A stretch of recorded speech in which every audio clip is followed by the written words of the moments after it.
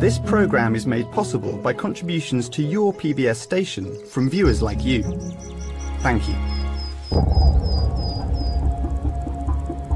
London, a cosmopolitan metropolis of 8 million inhabitants, and home to the world-renowned British Secret Service. For decades, cunning games of espionage have been played out on the city streets. Assassinations, treason, and betrayal. London has always been a crossroads, a global city. You've always had lots of exiles and dissidents here. That means it's a real meeting place for spies, British spies, spies from other countries trying to recruit people, trying to run operations. And I think it's meant that London is one of the great spy cities in the world. Entering the high-stakes world of spying, we learn what's really going on in the shadows. From the highest echelons of MI6. The best form of defense against plots and attacks is to know about it in advance. It was all about collecting intelligence and recruiting and running sources. To field operatives who risked their lives. Peak, I was operating under about 14 or 15 different aliases. Unsung heroes of Britain's most secret code-breaking station. We broke a message that said, today's the day minus three. The KGB double agents who fought the Cold War. They expected the Americans might carry out a sudden nuclear attack. But this crisis was stopped.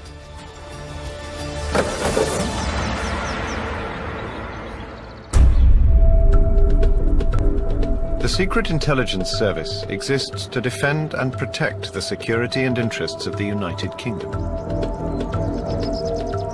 It's known by its World War I designation as Military Intelligence Section 6, or MI6. This green and cream building behind me is the headquarters of MI6. That's the Secret Intelligence Service, Britain's Foreign Intelligence Service, the equivalent of the CIA. Within intelligence circles, the building is known as VX, after its location at Vauxhall Cross on the banks of the River Thames. It became even more identifiable to millions of cinema fans around the globe when it was famously blown up in the Bond movie Skyfall. It is probably the most famous Secret Service building in the world, thanks to the James Bond films. The fictional world of 007 may be glamorous and entertaining, but the reality of life in MI6 is far more serious.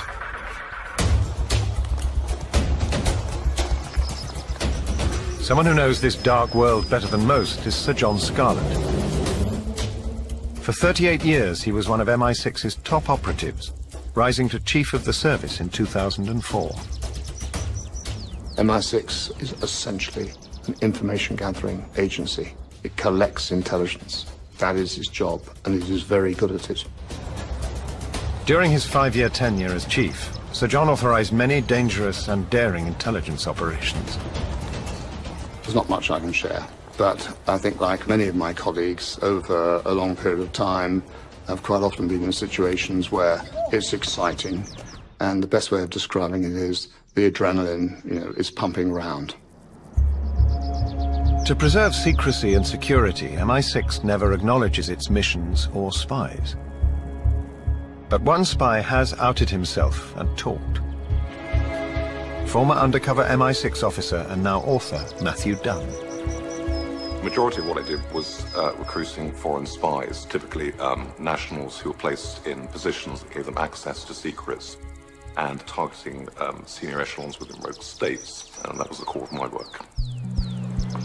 In MI6 speak, those passing on secret intelligence are called agents.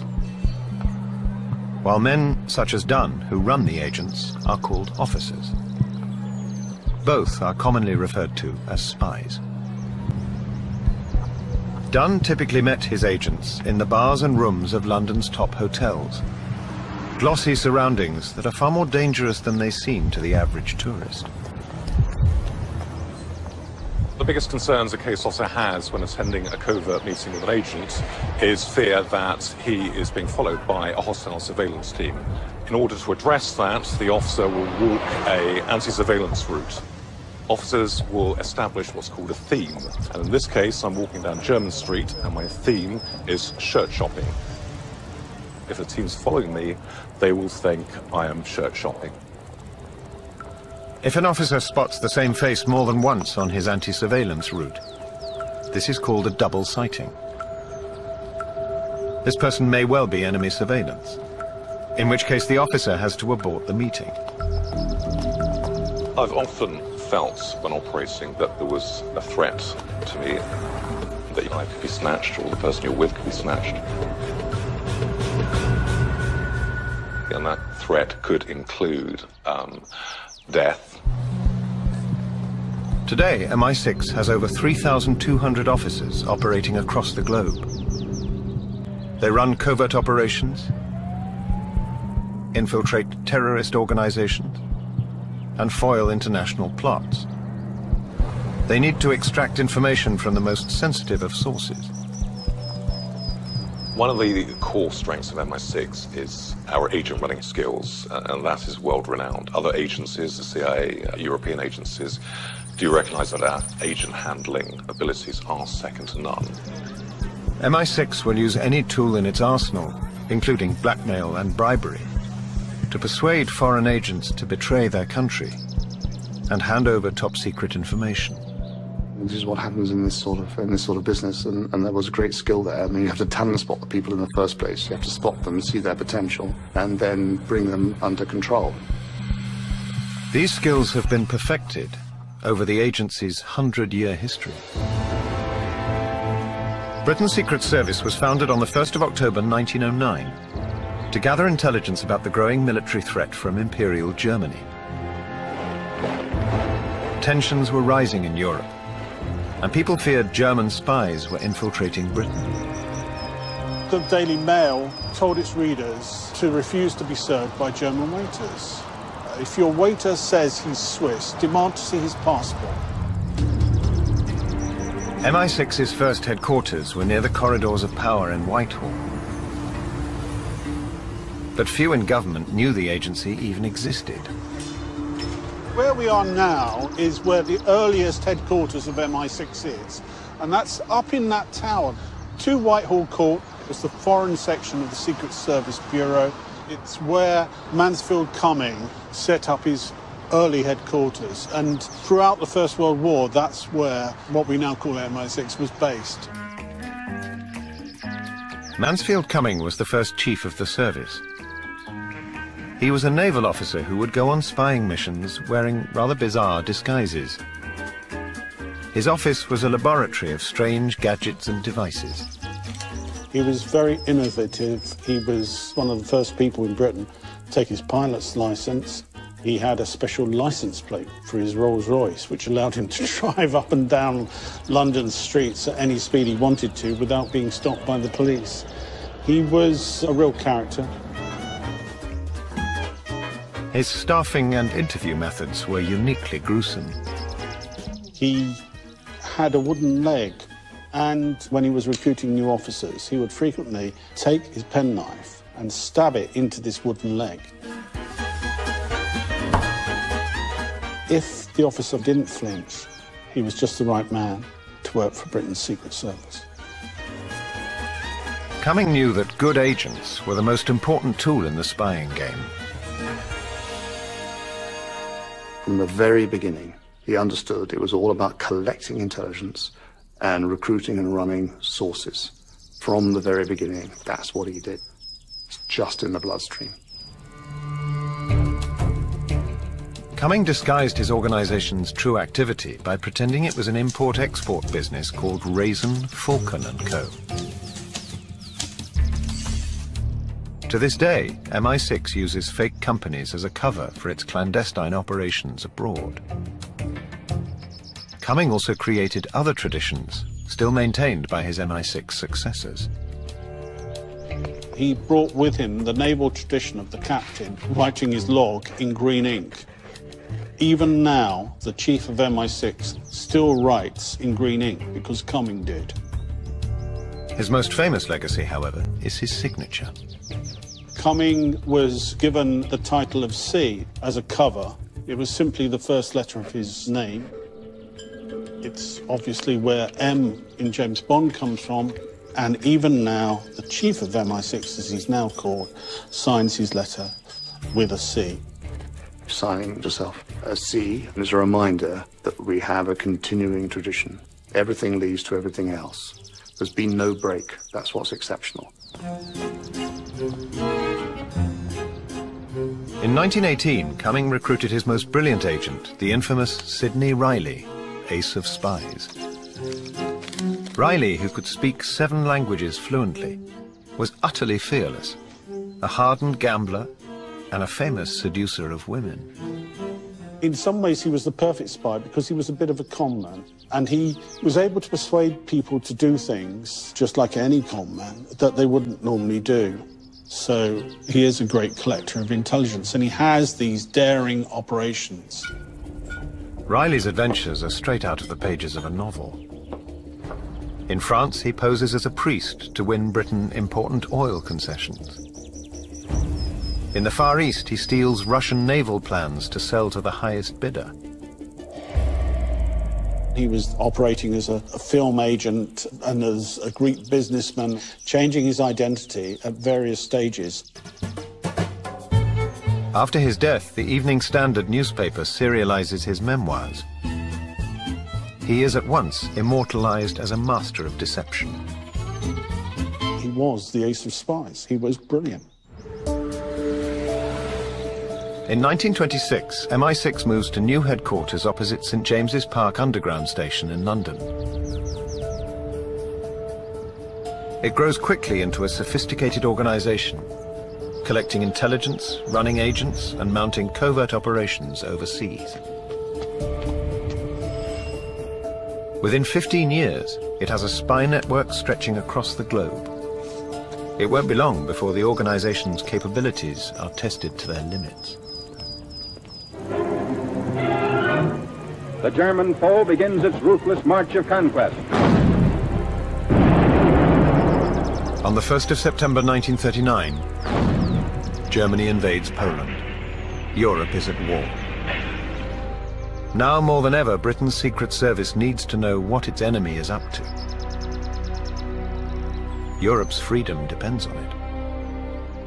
One of MI6's new recruits is Mavis Batey, a 19-year-old student studying German literature. Little does she know what lies in store. I was told that I was wanted at a place in the country, and, and they wouldn't tell you where you were going, but they told you to go to Euston Station and you would be met with a ticket.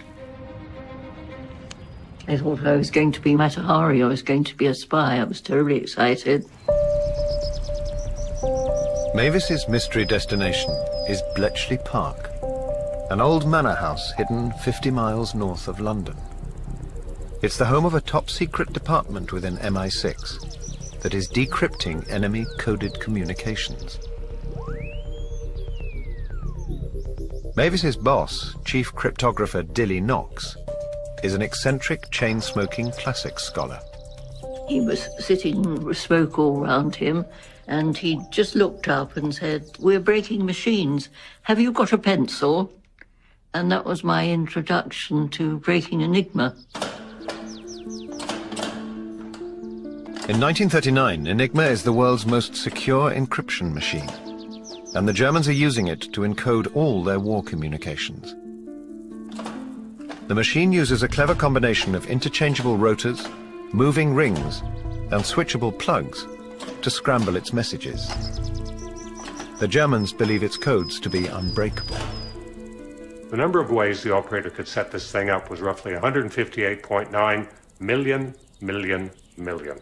The daily setting was known as the key, and the setting changed every day at midnight Greenwich Mean Time. Breaking the Enigma codes will be key to winning the war. Mathematicians may be an obvious choice for the work, but the unsung heroes of Bletchley were a unique group of young women. There was one actress, one who'd been to a drama school, and of all things, a speech therapist. And they were all people who knew patterns of language and picking it apart. Armed with only pencils, paper and bits of card, it takes the codebreakers five months of ceaseless work to decipher their first Enigma message. Sir. Mavis's big moment would come a year later, during a critical period of the war. The British learn the enemy are planning a surprise attack on the Allied fleet in the Mediterranean. But they don't know when it's coming. Then on the 25th of March 1941, Mavis decodes an extraordinary message. We broke a message that said, today's the day, minus three. We then knew what they were planning. Everybody was so excited about that. Forewarned of the impending offensive, the British call in backup and turn the tables on the enemy. Thousands of lives are saved, thanks to Mavis and her colleagues. Well, we were very good at it, I suppose, very cunning, because it was largely a strange mixture of logic and guesswork by which you broke things. So we were all a bit dotty afterwards, and uh, very good at Scrabble, of course. Churchill considered the codebreakers' work so vital to the war effort that he famously called them the geese that laid the golden egg. It is extremely unusual to get such comprehensive, in fact unprecedented in my experience, to get such comprehensive coverage of your opponent, especially in a war, both at the operational level and also at the level of their top-level thinking and strategic intentions. As the number of enemy communications increases, Bletchley Park lacks the money and manpower to decipher all of them. The only people in a position to help are the Americans.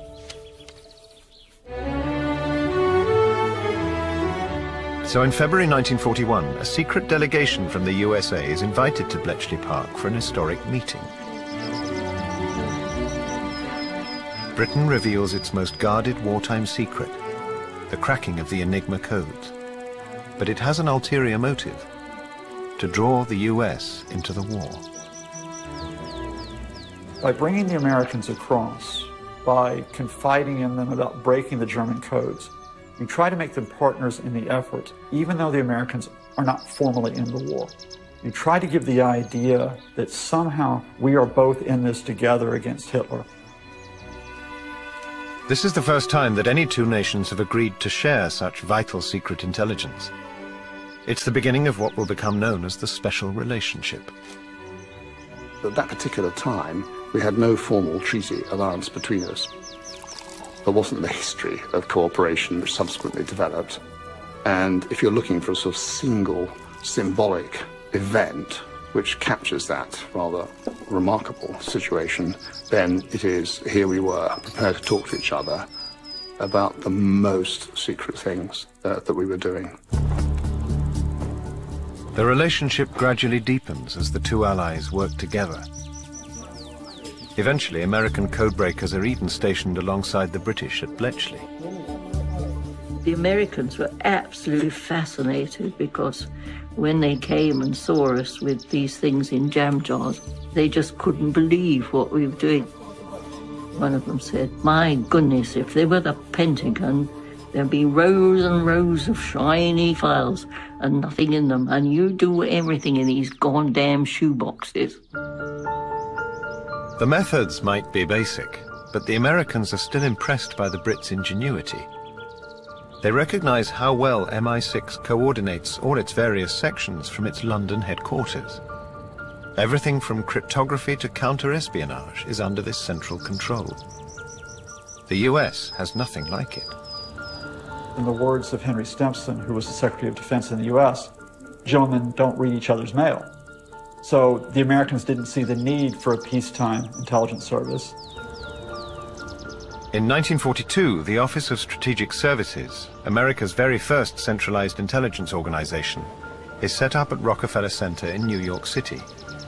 Heading the agency is former Army Colonel William Donovan. Because he was an Anglophile, he said, we'll structure it the way that the British had set up MI6. We'll set it up for intelligence and analysis and also covert operations. British brains to guide American brawn. The British let the Americans use both their espionage network and covert listening stations across Europe. The Americans are rapidly trying to catch up with the British. So we have the development of a special relationship of structures, but we also have the development of a special relationship of people. People who get to know each other during the war and who, after the war ends in 1945, continue to be in contact with each other. By 1947, the OSS is reformed as the world-renowned CIA. American cooperation with British intelligence continues to grow closer. That initial move lies at the very heart of the quite unique defense and security relationship that the United Kingdom has had with the United States um, ever since uh, 1941. In the early days of the war, Churchill sees that he'll need to fight dirty to stand any chance of winning. MI6 runs secret sabotage missions abroad from a small unit that is aptly named the Destruction Department. In July 1940, they joined forces with government propaganda and research departments to create the Special Operations Executive. Its mission is to sabotage the German army and set Europe ablaze. To do this, it adopts the guerrilla warfare tactics used so successfully by the IRA. This secret army has its beginnings in the most unlikely of elegant and refined surroundings. Author Gill Bennett has documented official government history for more than 30 years. Well, this is the St. Ermin's Hotel, which has definitely strong intelligence connections, particularly from the Second World War. It's only round the corner from the headquarters of the Secret Intelligence Service at the time, SIS, very near to Whitehall, very near to Westminster. And so you could just go across St. James's Park to wherever Churchill was, to the, what are now called the Cabinet War Rooms. Part of the Special Operations Executive, SOE, was formed here, had its offices upstairs. It looks very beautiful and light and romantic, but it was nevertheless a place where a lot of clandestine meetings took place. Most SOE operatives are foreigners who have fled occupied Europe. French, Spaniards, Danes and Poles are recruited for their language skills and knowledge of occupied territories. All are united by their desire to liberate their homeland from the Germans. They were often called a bunch of amateurs. Well, actually, a lot of them were a bunch of amateurs. But it was not a universally liked part of the intelligence establishment, even though, of course, in retrospect, it is seen as having had a major impact. Like any other MI6 operative, preparation is key to their survival. Before being parachuted into enemy territory, SOE agents undergo months of intense commando training. They would learn how to do self-defense, silent killing using their bare hands, and also close combat using a variety of weapons. Machine guns, daggers, silk escape maps, and even cleverly disguised suitcase radios are all part of their spy kit. So this is a Welrod pistol. This is a silenced weapon, so it's very, very effective for assassination when you need things to be quieter. It's a very iconic SOE weapon. Women would, of course, be seen out wearing their hats all of the time. So take your hat pin, make it thicker, stronger, and with a very, very sharp point. And as long as you know where you're aiming for, this dagger is going to be extremely effective. SOE use plastic explosive. This is a very malleable uh, type of explosive. A famous SOE weapon is the rat. Get a desiccated rat, scoop out its insides, stuff it with plastic explosive. A German sentry in a factory would think nothing of kicking aside a dead rat. The explosive will blow up the entire factory. The SOE are hugely successful. 13,000 agents rally over a million local resistance fighters to cause chaos for the German occupiers. On the night of D-Day itself, in France alone, there were 960 acts of sabotage carried out by the French resistance against rail networks and on the roads to prevent Germans moving forwards towards Normandy. After the war, Ian Fleming is inspired by the daring exploits of SOE and MI6 and uses them as plot lines for the elaborate missions of his master spy, James Bond. The James Bond stories are uniquely influential in defining the image of MI6 and its spies. They sell the public a world of espionage that is glamorous and sexy. Exotic cocktails, shaken not stirred. Beautiful women at every turn. And sharp-suited spies. Fleming's fictional version of British espionage is so convincing, the Egyptian Secret Service are completely taken in by it. Actually, in the 1950s, the Egyptians believed everything that was in the James Bond book must be based on reality. And the Egyptian Secret Service had their man in London buy up copies of every one of the James Bond books so they could analyze it and try and work out what bits were real and what bits weren't real. Even today, MI6 is inextricable from the Bond mythology. Much of the public's knowledge of the Secret Service comes solely from Fleming's creation. MI6, which is a secret organization, also happens to be one of the most famous organizations in the world. But it's the result, obviously, of the literature. And that can bring problems because people sort of misunderstand uh, what intelligence work is all about. I mean, I was in service for a long time, and I had plenty of exciting moments. Uh, but they weren't James Bond moments. The reality is that espionage work is neither loud nor high profile. For MI6, discretion and secrecy are key. Unlike James Bond, I wasn't able to walk into a swanky bar in a hotel and announce that I was Matthew Dunn and have women flocking all around me. We want to work in the shadows. We don't want the flashbang um, aspects of a James Bond movie.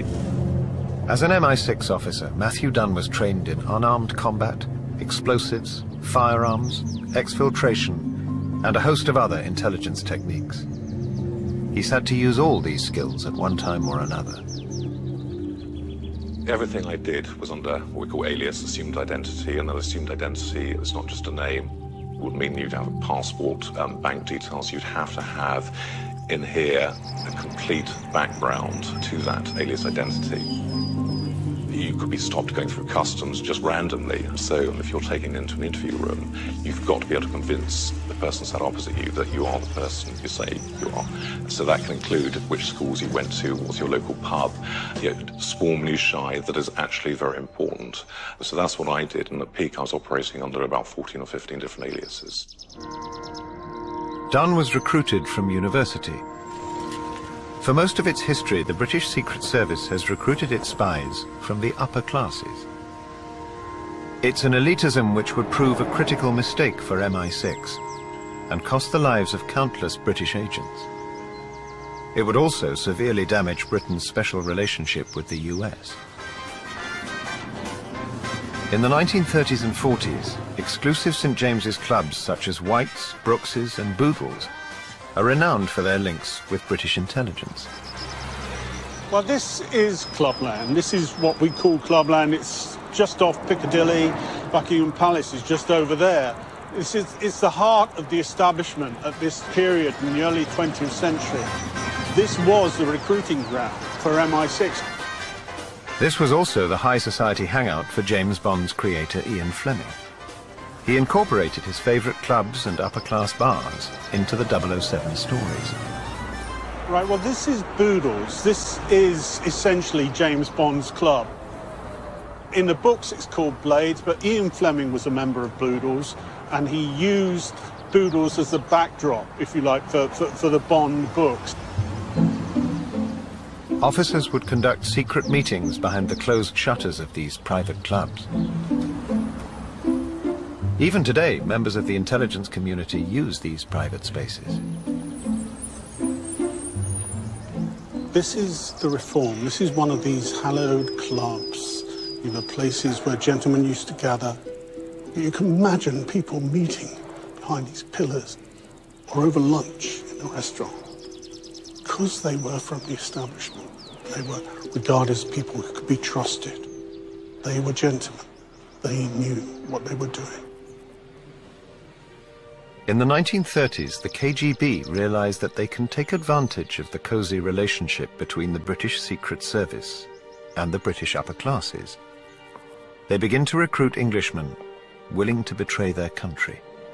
If someone said you were the right kind of person, a good chap, then you were in. There were no more security checks than that. No one bothered to look into your background. But people said, he's one of us. Well, they were wrong. And the Soviet Union very, very effectively exploited this by recruiting people and turning them against the British establishment. Cambridge University was one of the KGB's most successful hunting grounds for potential British traitors. And the most famous of all was Kim Philby. Kim Philby became converted to communism in Cambridge in the early 1930s. He believed that the choice the world faced was between fascism on the one hand or communism on the other, and he chose communism. Philby was instructed by the KGB to join the British Secret Service, and then to work his way up into a position of great influence, all the time passing secrets to his Russian contacts. He proved remarkably effective he was the liaison with Washington at the start of the Cold War, where he was privy to an enormous range of secrets of joint operations that Britain and America were running against the Soviet Union. In October 1949, MI6 and the CIA send a team into Albania to try and topple the communist regime. The Albanian army is waiting for.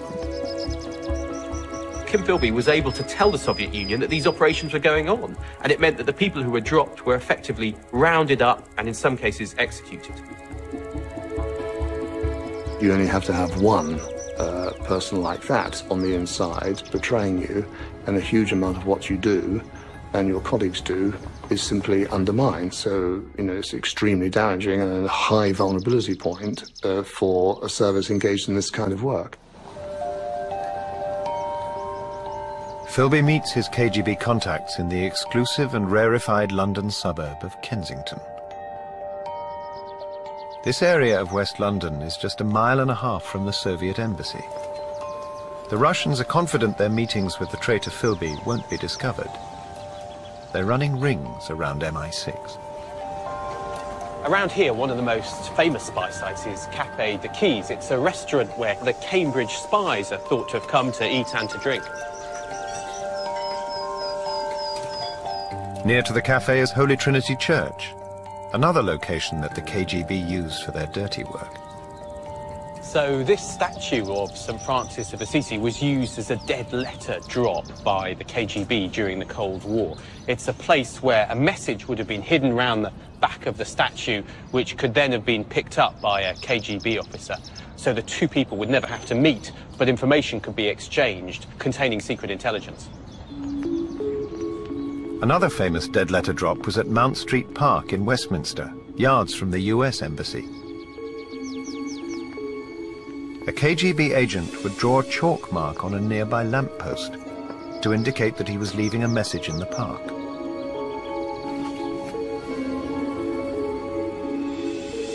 A second KGB officer would remove the mark and head to the park to collect the message.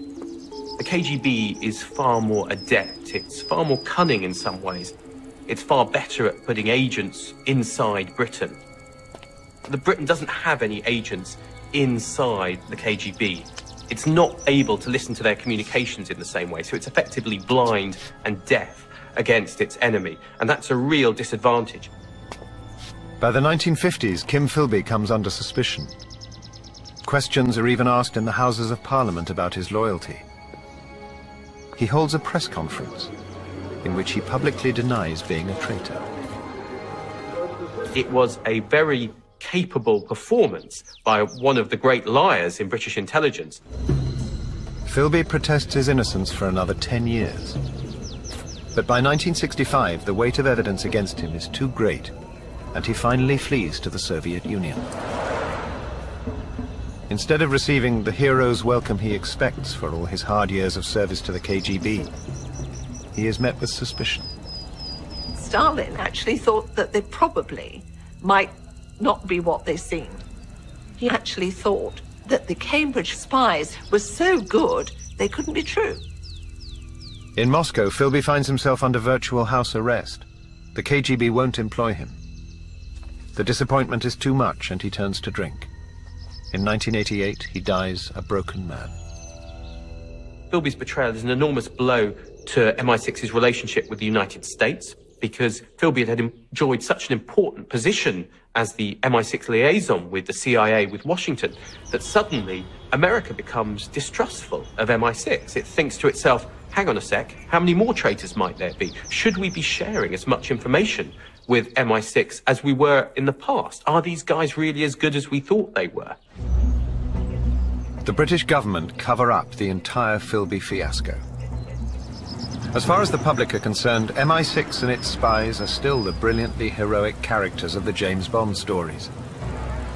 Tuxedoed men armed with guns and clever gadgets. The glamorous exploits might be fictional, but the spy gadgets are a reality. MI6 has a whole department that's dedicated to producing ingenious gadgets in, in many cases.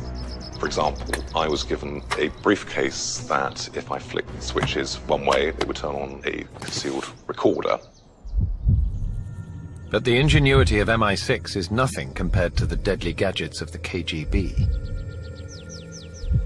On the 7th of September 1978, London witnesses the use of a lethal device in a plot that is stranger than fiction. Georgy Markov was an ambitious writer in Bulgaria who became dissatisfied with, with, with, the Bulgarian regime in spite of having been at its topmost level. He, he went hunting with the communist dictator Todor Zhivkov, but defected and came to London.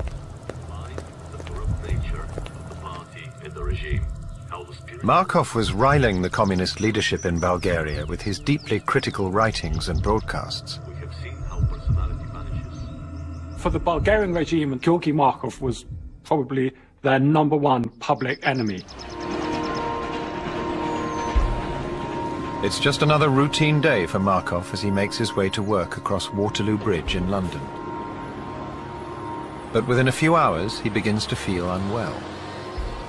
The following day, he is admitted to hospital suffering massive organ failure. His doctors have no explanation. Markov, though, is certain he has been poisoned. I went in uh, and saw him, and uh, his words they're out to get me. Uh, I've been poisoned. By the KGB, there's nothing you can do about it. I'm going to die. Dr. Riley is chief medical officer on call at the time. His colleagues think Markov is paranoid and crazy. Only Dr. Riley believes his fantastic claims. He just was so convincing and he seemed so genuine that I thought I, would better take this seriously. Markov desperately tries to work out how he's been poisoned. The only strange thing he can remember happening is at a bus stop on the way to work that morning. He just told me about how he was waiting at a bus stop at the south end of Waterloo Bridge. And he said that he suddenly felt like a sharp stabbing feeling in the back of his right thigh. And he turned around to see someone there who'd accidentally prodded him with an umbrella. Markov's condition deteriorates quickly, and within three days he is dead. For the first time, MI6 fear the worst. Has a foreign agent carried out an assassination on British soil? Has someone been given a real-life license to kill? Everything you're doing overseas as an operative is illegal because espionage um, is illegal. So the concept of having a license to kill is irrelevant. If you kill somebody, you can't suddenly pull out a license and that's going to be fine. So the reality is there's uh, no need to have a license to kill. License or not, Markov believes he's been targeted. And whoever has attacked him has left a trace. When I examined him and found on the back of his thigh sort of this puncture wound, I thought, well, perhaps he has been poisoned. Buried inside Markov's leg, the pathologist discovers a tiny round pellet the size of a pinhead. The microscopic holes drilled into it are so small that there's only one toxin powerful enough to have killed in such a minuscule dose. Ricin. You can imagine this is the pellet. The theory is that the holes were sealed with something like gelatin, which would melt at body temperature.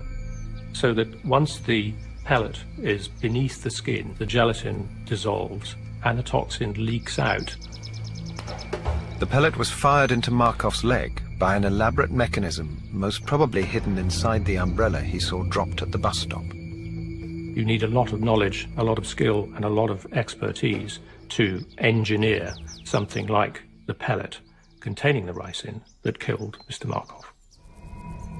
MI6 believe the sophisticated nature of the pellet and umbrella device point to a state-ordered assassination.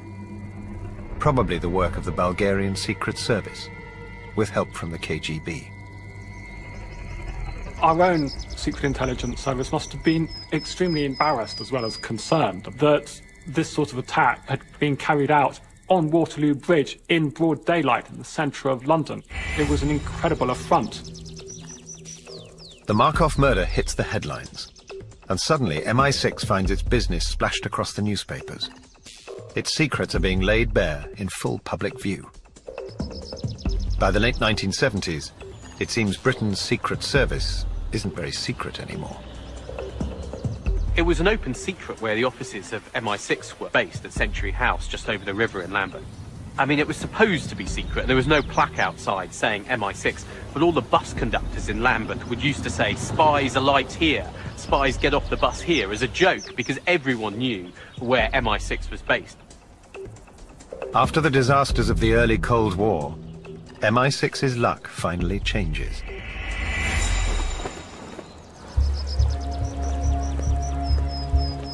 They persuade senior KGB member Oleg Gordievsky to turn double agent and leak Russian secrets to the British.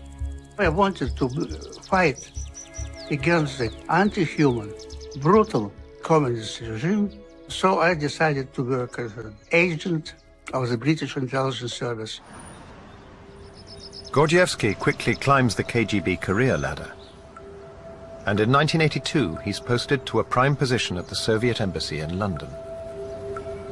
Oleg Gordievsky was recruited by the British at an important moment when Britain and America did not have many spies who could reveal the inner thoughts and inner workings of the KGB leadership and of the leadership of the Soviet Union as a whole.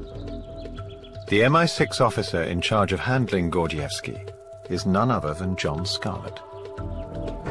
He was turned into a really reliable and uh, effective and committed um, uh, agent, if you like, or double agent. Because you can only do it if you trust uh, the double agent concerned. And by definition, trusting double agents is not a straightforward business. But the British become convinced that Gordievsky is genuine. During his lunch breaks, he slips out of the Soviet embassy to meet with Scarlett. Very occasionally, he's also able to smuggle out top-secret documents. It was very dangerous, and only five, six times I was able to take documents into this pocket and take it for one hour only to show it to the British. Gordievsky is risking his life meeting Scarlett. If the KGB catch a traitor, there is no reprieve. They will execute him. And the British service photographed my documents, gave them back to me, and I drove back like mad to the embassy to return the documents. I was playing with death every day. Gordievsky's most important moment is to come in late 1983. Unknown to the public, for a brief moment, the world is on the brink of nuclear war. Tension was increasing between the West and the Soviet Union when Ronald Reagan was talking about the evil empire and when the Soviet Union feared that there could be a surprise attack. NATO forces are preparing for a Europe-wide exercise that simulates a nuclear attack. Everyone from the Joint Chiefs of Staff to the President is to be involved. But the Soviet Union thinks the exercise is merely cover for the West to launch a real strike against them. The world is unwittingly heading towards nuclear war. Messages went out to the KGB station saying, you must be on high alert for the possibility of the West launching a strike against us. And the Soviet Union actually raised its state of alert and readiness. In London, Gordievsky sees the aggressive messages from the Russian leadership and immediately warns MI6. And that information passed on to the British and the American intelligence officers. The Americans took it very seriously.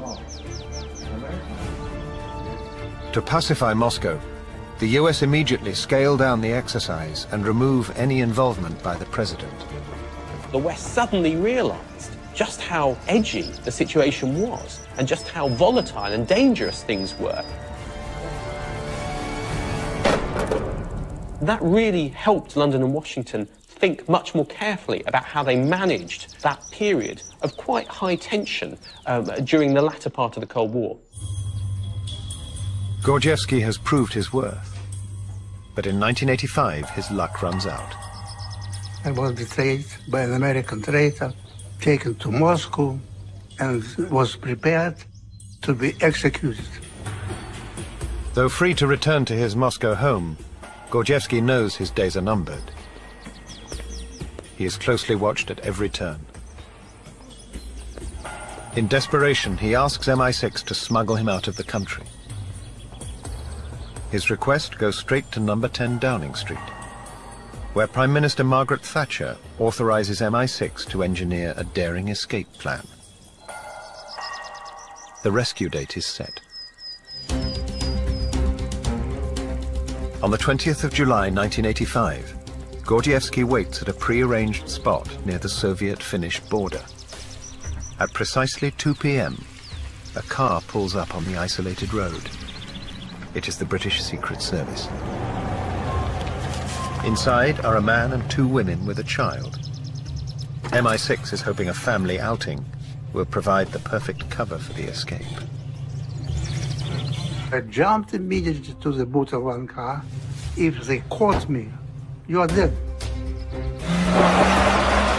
With Gordievsky in the trunk, the car speeds towards the border. The Soviet frontier is heavily guarded. And Oleg can hear search dogs outside. If the dogs sniff him out, he's done for. One of those dogs, little dogs, to smell who is in the car. And the ladies are very clever. They threw nappies. And the dog's sense of smell was entirely disturbed. The strong smell from the diapers distracts the dogs, and Gordievsky remains undetected. Finally, after two tense hours, he hears the signal he has been waiting for.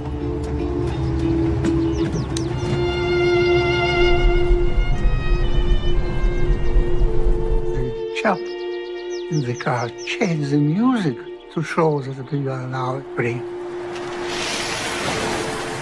The car has reached neutral Finland and safety. We were entirely free. MI6 has repaid Gordievsky's loyalty and ensured his freedom. Oleg Antonovich Gordievsky is a well-known public case, and it is hard, and not possible, to overstate uh, the contribution he made to our national well-being and, and, and interests. When the Soviet Union crumbles after the fall of the Berlin Wall, it seems like Britain and the West's game of cat and mouse with Russia is over. But only 20 years later, the Russians are back and playing the spying game with a vengeance.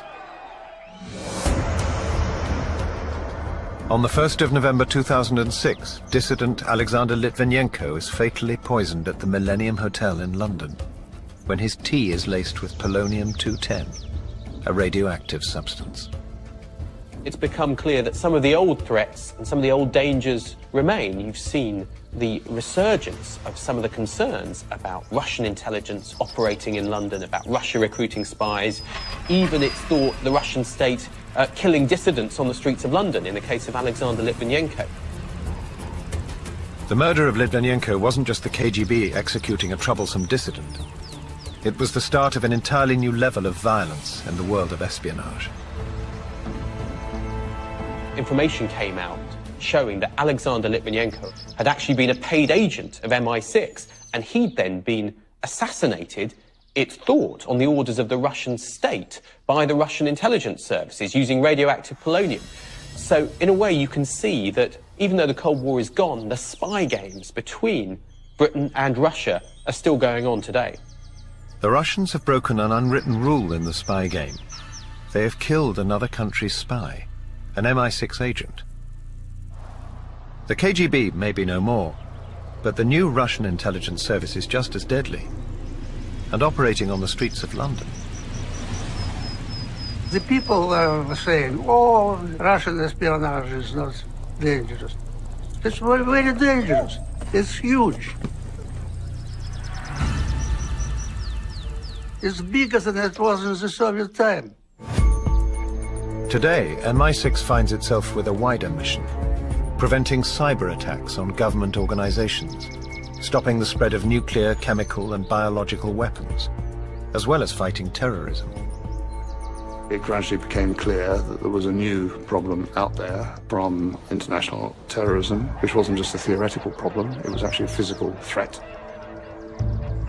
At least 20 foreign states are known to be actively targeting the United Kingdom. MI6 is needed now more than ever my entire experience up until the present day is that we face situations where we need to be well informed. And self evidently, the best form of defense against plots and attacks is to know about it in advance. And that is a matter of good intelligence. As long as there are people who want to do Britain harm, Britain will need a secret service. As long as there are threats out there, whether those threats are now from cyberspace and terrorists rather than the Soviet Union, then we'll need spies to try and understand those threats, to get inside them, to understand what your enemy's intentions are. Because the United Kingdom is such a high priority target, the British intelligence and security services have a budget in excess of $3 billion to fight hostile forces. I largely suspect there are far more spies um, in London and in Europe now than there were during the Cold War. London will always be the perfect place for spies to hide and pass unseen among the millions of visitors. Well, of course, I would say this, wouldn't I? But I genuinely, honestly cannot envisage a circumstance where our country will not need an effective um, intelligence service. And I've seen the importance of the service and the role it plays increase rather than the other way around. The services continue to work day in, day out since the 1st of October 1909. One operation leads to another operation, leads to another operation. That's how it is.